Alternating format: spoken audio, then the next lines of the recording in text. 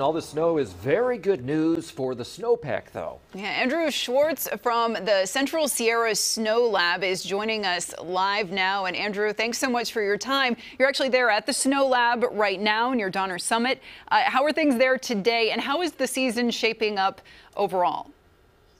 Uh, today, we actually saw quite a bit of snow. We had some really strong uh, snowfall rates uh, over the last 12 hours or so. It's kind of tapered out now. Uh, little flurries here and there, but not much. Total overall, we've seen a bit about 16 inches in the last 24 hours, which is amazing. And so far for the year, we're looking quite good. We're looking at about 163% of average to this point in time. So those big snowstorms have helped us out so far. Well, we learned today much of our area graduated from exceptional drought to extreme drought, extreme being the good word. A little bit better. Situation. We'll take what we can get. Uh, a strong start for the snowpack, but how much more really do we need to take us out of this drought? Uh, you know, at this point, we're not even really talking about getting out of the drought with the snow that we're getting.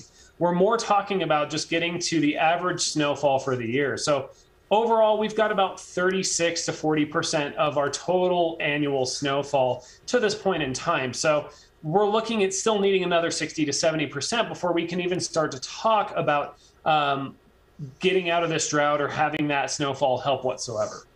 Yeah, and we know your focus is on the Sierra, but we're hearing about the possibility maybe of snow hitting the valley next week. Uh, what type of impact can snowmelt here in the valley have on the water situation, if any?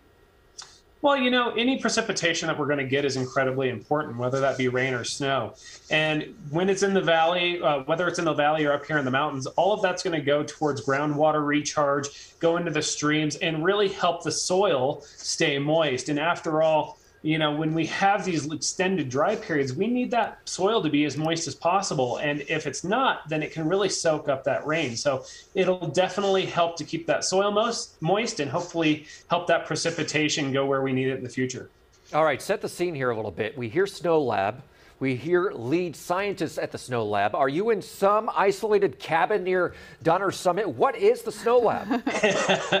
yes, actually, that's a perfect way to put it. Some isolated cabin near the summit. Um, yeah, so we're about 200 yards off of the closest road. We get in with snowmobile or snowcat and we have been up here since 1946, so an incredibly long time. You took but breaks along the way. Area. Oh, go ahead. Sorry. you took breaks along the way. You haven't literally been there since 1946. no, definitely breaks. Uh, especially in the summer. But yeah, we've been up here for a long time. We've got a lot of instrumentation and do a lot of research up here for a variety of different people. Well, very nice. All right, good. You're getting a little bit of a break there. Glad you're warm and inside. Thanks so much for joining us. Thank you.